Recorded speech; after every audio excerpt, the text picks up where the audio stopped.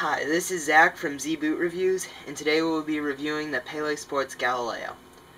Uh, we are going to start by talking about the upper, which is which Pele called the Renaissance upper, and uh, this upper, it when you you have it in your hand, it feels a little bit weird, like it's got this kind of like vinyl feel to it.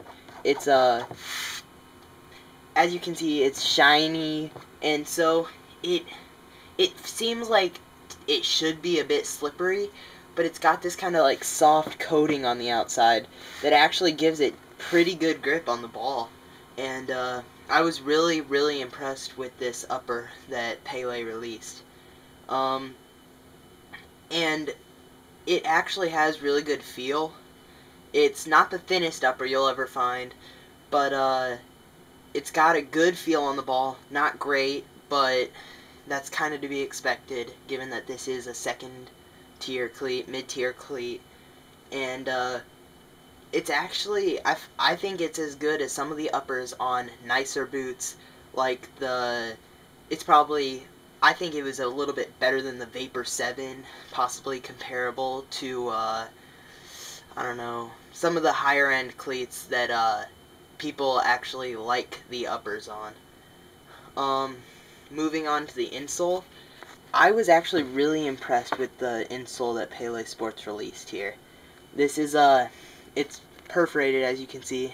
It's got all the little holes in it. And, uh, yet they, even though they're going all out to make it lightweight, it's still a really soft insole.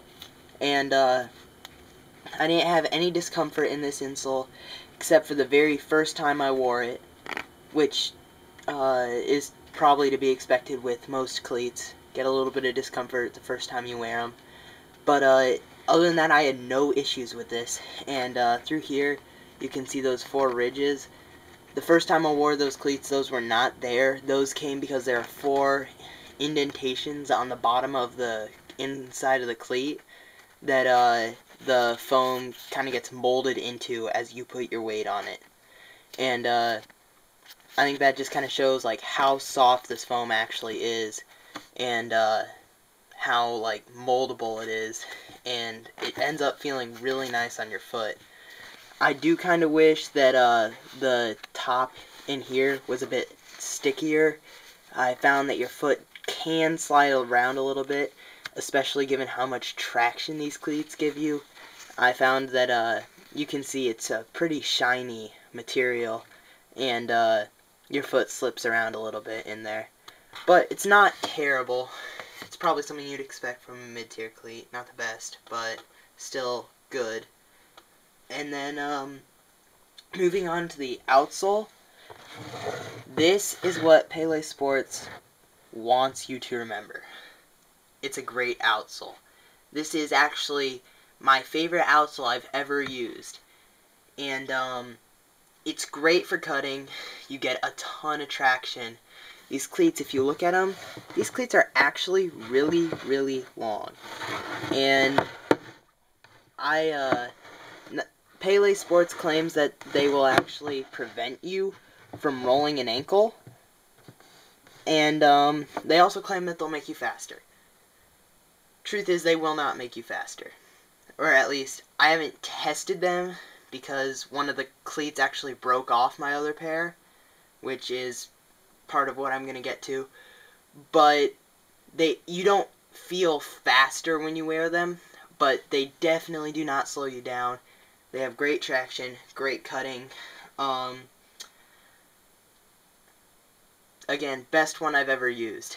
Uh, you can see they've only got three studs on the heel, and you can't tell when you wear them. Like a lot of people, uh, I've heard them saying that they think it's gonna be either like uncomfortable or you're gonna feel unstable. You actually feel really stable in this cleat, and uh, I noticed you sometimes, rarely, but sometimes get some stud pressure from this cleat, just because uh, you often have a lot of weight on it, and it is actually a really thin, soft in, uh, outsole, and so uh, that's one area that's maybe just not as good as it could be.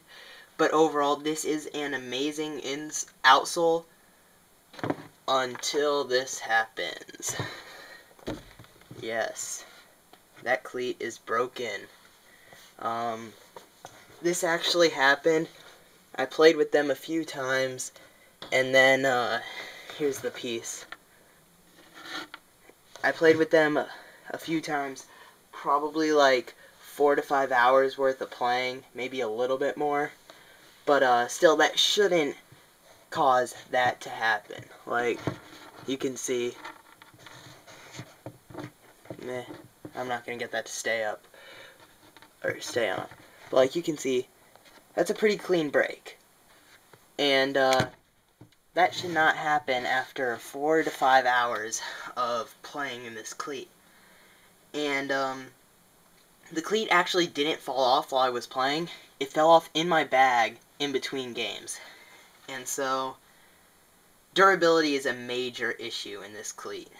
Um, I, I just can't tell someone I would recommend this to them. I can't tell someone, yes, this is a good cleat, go buy it. Because you're only going to get a couple of plays out of them. Now, I did use these on turf. And I did use these exclusively on turf for the four to five hours I actually used them. And so I just feel if you want to go spend a $100 on a pair of cleats, you could go get a pair of cleats that is going to last a lot longer than this, even if you use them on turf. So I just can't justify saying to a friend or to any of you guys, go get these, they're worth it. And so, um, and I'm really sorry to do that because other than that, I really like this cleat. But, uh, yeah. And, like, even, like, their comfort, it's good. Like, it's a comfortable cleat, which isn't something you necessarily think of when you think of a lightweight cleat. And these weigh 7.3 ounces. At least that's what they're listed at. Um, I know there are often a li little bit of discrepancy between what they actually weigh and what they're listed at. But uh, they're very comfortable for a cleat that only weighs 7.3 ounces. And uh, I was really disappointed when that came off. And uh, one last thing I wanted to point out is um, this is still on comfort. These do not have the memory foam insert type thing on the tongue. This is just a straight tongue. I'm not sure if I can get a good shot of it. That's pretty good.